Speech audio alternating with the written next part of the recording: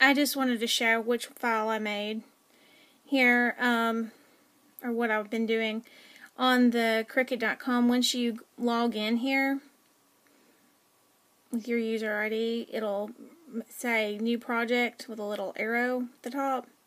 And then you scroll down, you can see all these different ones. And this one says thank you. All I did was click on it. It pops up with all this information on it. tells you what you need. And I've already loaded the pen into my um, device.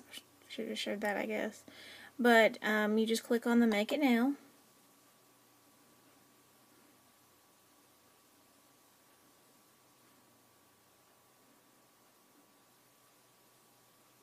How many projects do you want to make? Well, for this one, I did two, because on a 12 by 12 paper, I realized that two um, will fit.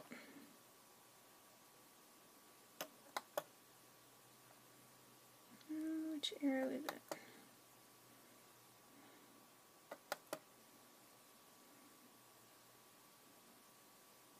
See? Voila. And it makes it perfect. And then if you clicked on this,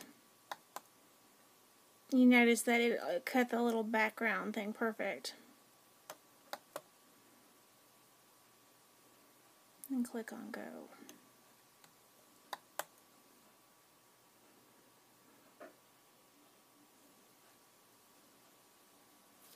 My operating system is Visa, I mean Vista. Um, and I'm in Firefox. I could not get the designs, uh, the Cricut Design Studio to work in anything but Firefox. But there's been no problem with having um, Internet Explorer and Firefox so far, so that was good. So all you have to do now, sorry that lighting went weird. Okay, now you click on, once this shows up, it has loaded what you're going to cut, exactly what you're going to do, into the Explorer. So all you have to do from this point is everything with the Explorer. And I have already put my black cardstock, which you can't really see very well, on the mat and just rubbed it down. And my mat's still, it's still curved from where it was in the box with the packaging, but it hasn't been too bad. Okay, let me try to fix the lighting. When you get your Explorer, it says, um, it already tells you easily about what A and the B means. B is for blade, A is for accessory. All you do to insert the pin is to open that part up, and then you press up while you slide this part down. Or you can just push it down like that, close that up, and I'll show you the next part, loading the map.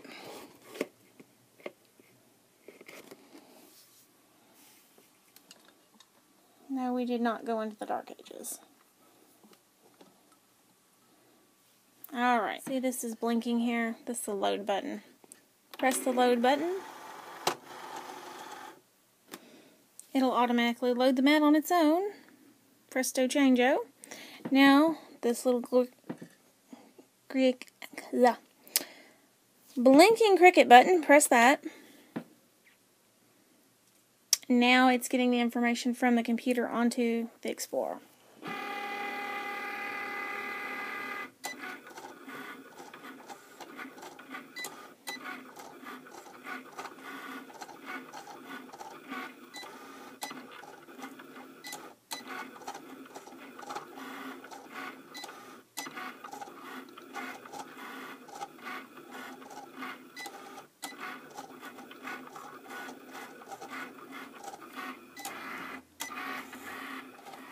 Wasn't going to video this part because I felt like I showed it again in the other video.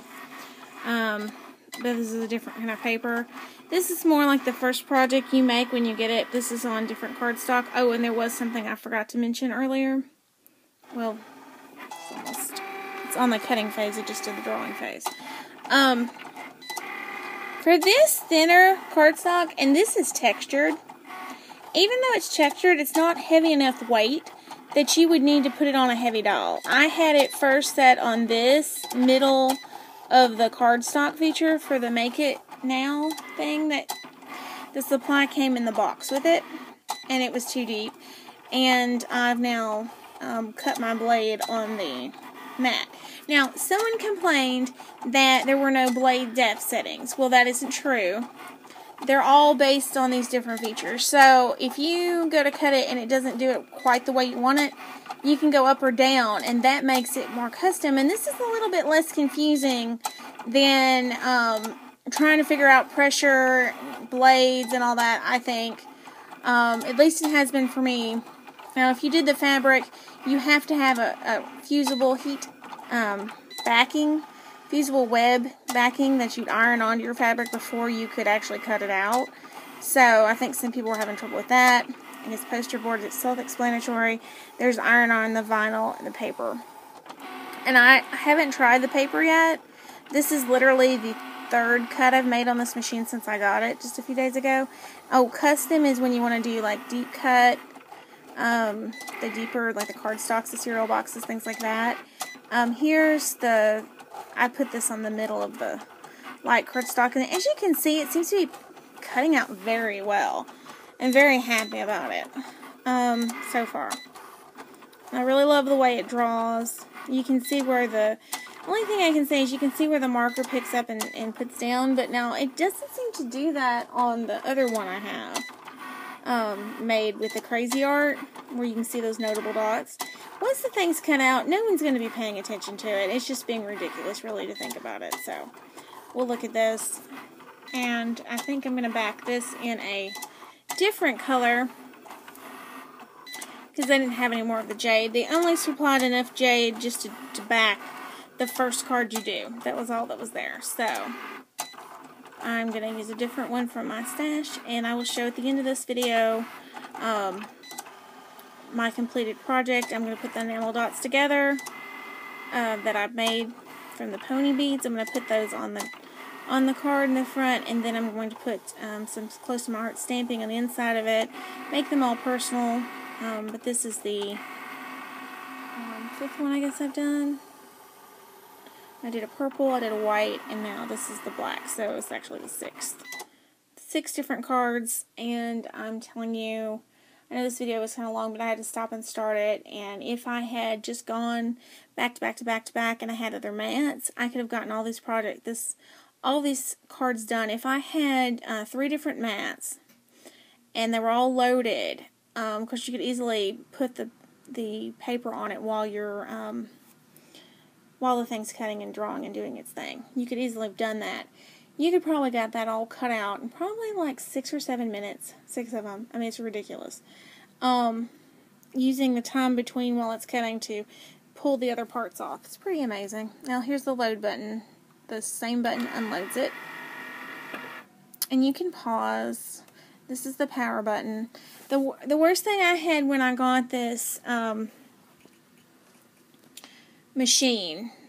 It was updating the firmware. When I went to do the firmware at first, it didn't go through, and where this is a clear white button, it was displaying in red. And that is because I called the Cricut company and they said it was because the firmware had not gone through and it was in like the middle of that download and it was sitting there on it and that's why it was in red. So I went back in the machine, in the design software, and I did the firmware again, and I just redid the firmware. I said, you know, update firmware on it. It was at a different spot. Uh, clicked on that, and it ran it through to the Explorer. It took about five or six minutes to do. Then it was done. It shut off as it's supposed to, and then I turned it back on, and it worked great. And then, then I was able to make my first project um, which was the same kind of card, but they had only provided like an 8.5 by 11 sheet of cardstock, I believe. Doing the 12 uh, by 12, I think, is more cost efficient because you can get two at a time. Well, it's time efficient too. Um, so I just really like that, and I just I wanted to share that. Um, I know the design software is a little bit confusing to me, and maybe because it's confusing to me that I'll be able to make it in more simpler terms for every, everyone else. I know a lot of people have given me a lot of advice on it um, and a lot of forums on Facebook, Um, one's Cricut Pioneers. If you get a Cricut of any kind and you want to join that, um, you can just send a request, and um, it's a great group to be in. There's also Design um, Studio one on Facebook. They are ones that are just more for the explorer. It's good for when you're starting out the explorer and you've got questions. And both groups seem to have a little place where they um, will let you search um, the past things that have come up. So that's really, really helpful. The Cricut Pioneers have been the best because they've been sharing SVG files. And there's a really great guy in there named Christopher Lopez, and he is really good by if you have a question, he will try to solve it for you. And he's made a lot of SVGs for people or help find them if they didn't know where they were.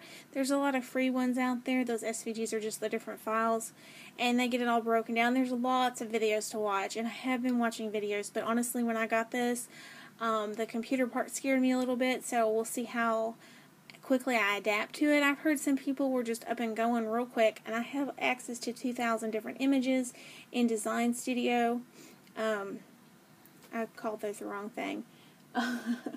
in the um, the uh, I think it's called the uh, anyway in the Cricut um, account, I've got access to it, and I um, so I can use that for two weeks. So I'm trying to get on this as quickly as possible and um, learn everything I can. Use all my images before I'm not able to use them anymore because I don't know that I'm going to get a subscription um, at this point, but I may get in the future. You just never know.